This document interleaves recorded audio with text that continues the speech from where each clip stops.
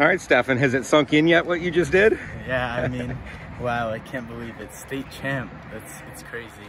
It's a dream come true. Ever since I started high school tennis, this is the dream. And you had told me coming into the weekend, making the finals was what you wanted to do, but you see that one better to make it and win it. Does that feel pretty good? Feels amazing. Tell me about your game and how, you know, how you played during this three days of tennis here. Um, I mean, to start off the tournament, was pretty tight because, I mean, this is the state championship.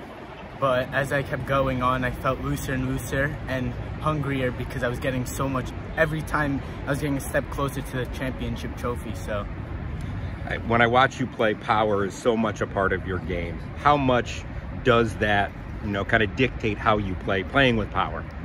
Uh, dictates a big amount because definitely to have a bite on the ball and get your opponent off balance definitely helps to set up the next ball and win matches.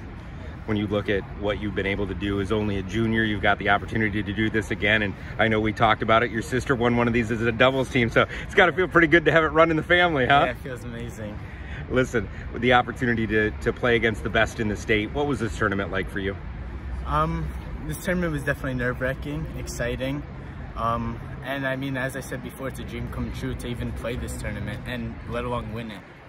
Great playing. We'll see you for the awards. Congratulations. Thank you.